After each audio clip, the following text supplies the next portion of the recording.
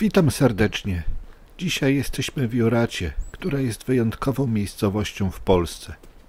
Miejscowość ta powstała od zera jako kurort w okresie międzywojennym i już wtedy cieszyła się dużym zainteresowaniem turystów. Do dzisiaj charakter kurortu jest zachowany, choć sama miejscowość uchodzi za szpanerską, inni mówią prestiżową, a w lecie można tu spotkać dziewczyny chodzące w złotych klapkach.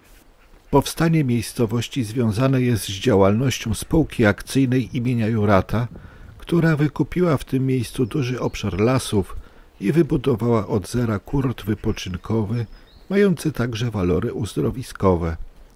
Począwszy od 1931 roku, ta spółka akcyjna rozpoczęła sprzedaż domków letniskowych i od tego momentu możemy mówić o powstaniu miejscowości Jurata. Spacer rozpoczynamy od stacji kolejowej Jurata. To tutaj rozpoczynali swój pobyt w tym kurorcie przedwojenni turyści przyjeżdżający pociągiem z głębi ówczesnej Polski. Dzisiaj także w sezonie letnim dobrze jest rozważyć przyjazd tutaj pociągiem. Można też oczywiście przyjechać samochodem, jednak w sezonie letnim wszystkie parkingi w Juracie są płatne, a parkowanie w miejscu niedozwolonym może obciążyć naszą kieszeń dodatkową opłatą. Jak widać, peron i okolice stacji kolejowej jest zadbana, nawet teraz zimą. Jest tutaj czysto i przyjemnie. Ze stacji kolejowej idziemy w kierunku pomnika Juraty. Postać Juraty to postać legendarna. Była to córka króla mórz i sprawowała władzę nad Bałtykiem. Mieszkała w bursztynowym pałacu, a jej ukochanym był człowiek, prosty rybak. Gdy ojciec królewny dowiedział się o miłości swojej córki do zwykłego człowieka, z gniewu wzburzył morze i zaczął ciskać piorunami.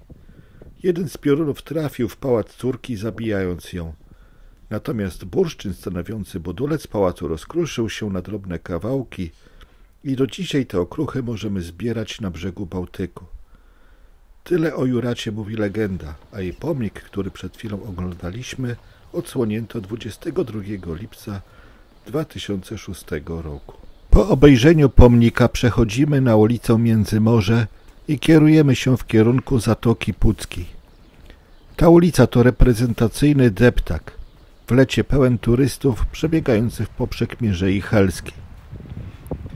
Zaczyna się ona na plaży od strony otwartego morza i kończy na wybrzeżu Zatoki Puckiej. Długość tej drogi jest w przybliżeniu równa szerokości Mierzei w tym miejscu i wynosi około 600 metrów. Idąc nim mijamy różne punkty handlowe, a po chwili dojdziemy do mola. Dzieje mola w Juracie sięgają samego początku istnienia kurortu. Był to wtedy drewniany pomost ustawiany na okres letni i rozbierany jesienią po zakończeniu wakacji. Takie postępowanie zabezpieczało materiał pomostu przed zniszczeniem jesienią i zimą przez sztormy i napór lodu. Każdego roku pomost odbudowywano bardziej efektowniej niż był w poprzednim roku. Już przed II wojną światową był oświetlony elektrycznie, a dodatkowy wyjątkowy nastrój zapewniała muzyka płynąca z zainstalowanych tu głośników. Świadczyło to o nowoczesności i podkreślało prestiż Juraty jako kurortu. Już przed wojną do mola cumowały motorówki, kajaki i jachty. Na środku przedwojennego mola znajdowała się budka ratownika. W latach trzydziestych ubiegłego wieku organizowano tu pokazy i zawody sportowe, w tym wyścigi motorówek, zawody wodno-narciarskie i parady jachtów. Po II wojnie światowej molo odbudowano w 1973 roku. Jego konstrukcja była drewniana i taka konstrukcja nie przetrwała próby czasu. Dlatego w 1990 roku wybudowano kolejną wersję tego mola. Tym razem konstrukcja oparta jest na żelbetonowych legarach. Jedynie sam podest jest drewniany. I tę wersję mola widzimy właśnie obecnie. Jego długość wynosi 320 metrów. Molo posiada specjalnie wydzielone miejsca do cumowania motorówek czy jachtów. Przewidziano też wyjście z wody dla osób pływających w morzu. Z mola rozpościera się piękny widok na panoramę Juraty i Półwyspu Helskiego. W pogodne dni można dostrzec wybrzeże Trójmiasta. Będąc w Juracie, koniecznie trzeba udać się na spacer po tym molo.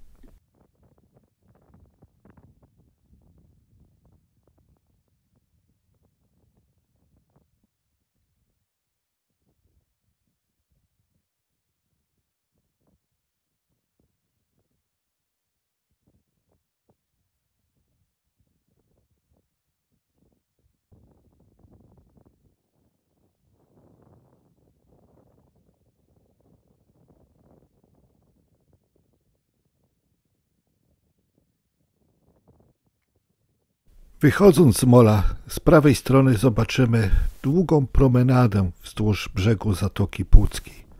Możemy się nią przejść i podziwiać piękne widoki na Zatokę Pucką, a także na budynki w Juracie.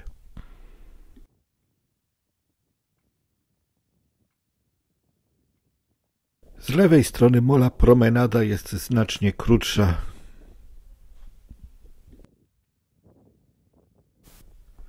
Wychodząc z mola z powrotem idziemy deptakiem między morze, aż dochodzimy do ulicy Mestwina.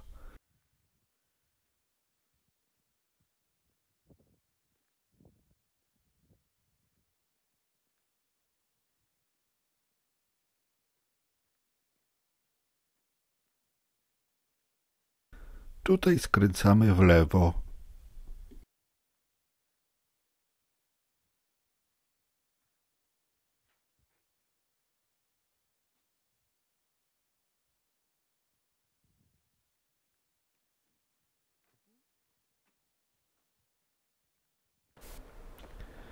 Idąc ulicą Mestwina, po chwili z prawej strony zobaczymy działkę porośniętą lasem. Wygląda on niczym jakaś dżungla, porośnięty tak jakby przypadkowo drzewami, krzewami, zaroślami. Sprawia to niesamowite wrażenie.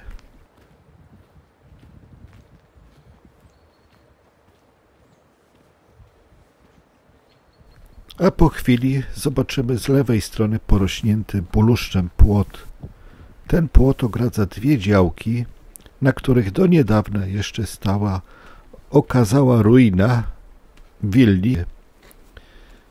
W ubiegłym roku willa ta została zburzona.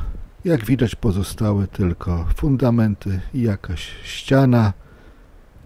Być może niedługo też i one zostaną do końca zburzone i w ten sposób po dawnym właścicielu pozostanie jedynie wspomnienie, a historia tego miejsca rozpocznie się na nowo.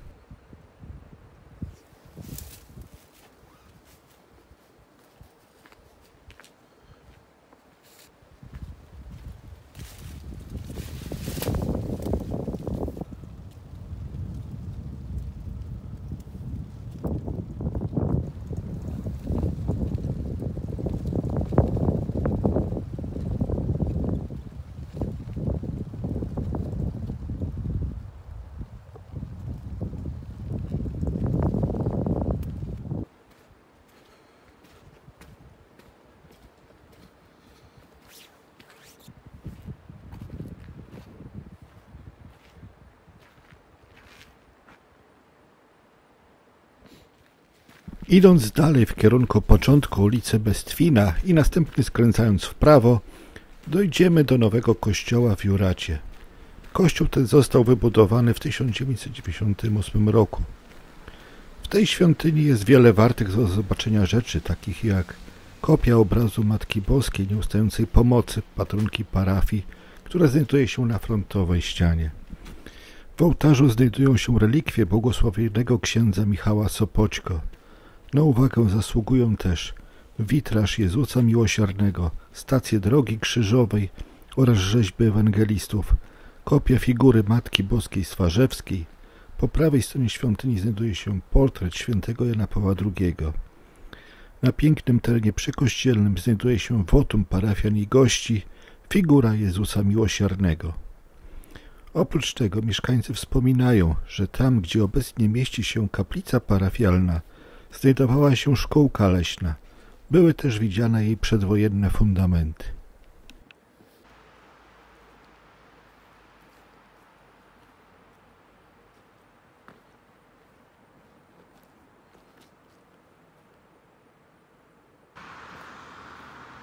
Opuszczając teren kościoła, kierujemy się w stronę Alei Wojska Polskiego. Jest to główna ulica biegnąca przez Juratę.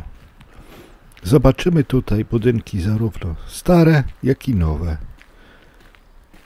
Ze starych niektóre pamiętają początki powstania kurortu Jurata.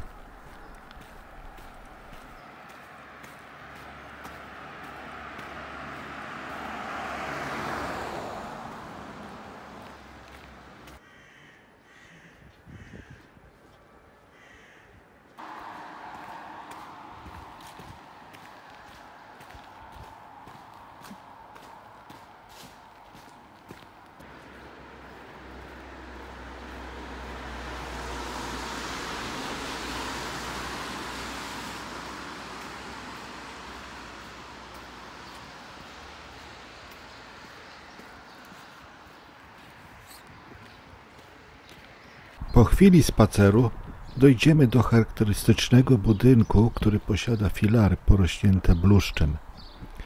Oznacza to, że już doszliśmy do ulicy Międzymorze.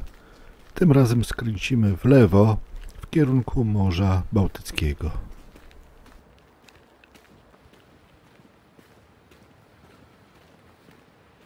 Po chwili spaceru zobaczymy Morze Bałtyckie i dojdziemy do wejścia numer 60 na plażę. Proponuję pozostać przez chwilę na plaży, by odpocząć przed dalszym spacerem po Juracie.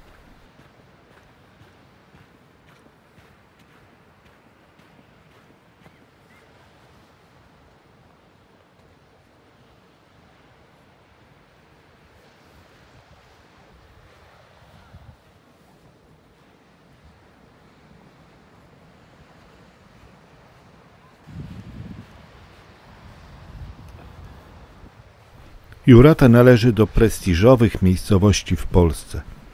Świadczą chociażby o tym ceny kupna mieszkań w nowych apartamentowcach, które wahają się pomiędzy od 30 tysięcy do 50 tysięcy złotych za metr kwadratowy. W starszych budynkach ceny mieszkań są niższe, choć raczej nie niższe niż 20 tysięcy złotych za metr kwadratowy.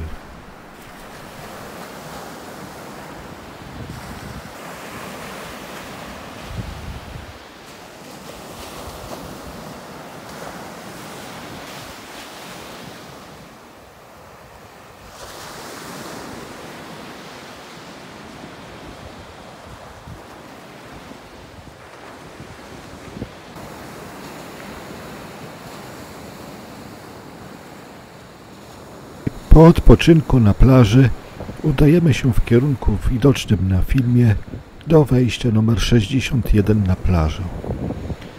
Dojdziemy tędy do wieży widokowej.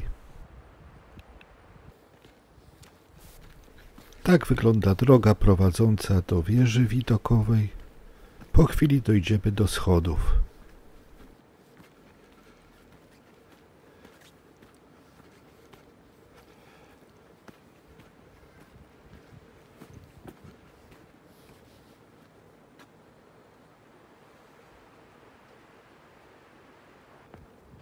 Wieża widokowa, choć położona na uboczu, to jedna z ciekawszych atrakcji tej miejscowości. Zlokalizowana jest na szczycie dawnej wieży ciśnień.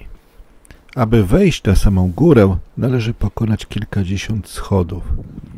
Wejście na wieżę jest bezpłatne i możliwe przez cały rok. Z góry roztacza się przepiękny widok na wody Morza Bałtyckiego, a także na korony sosen – a przede wszystkim możemy z bliska zapoznać się z budową anten nadajnika komunikacyjnego.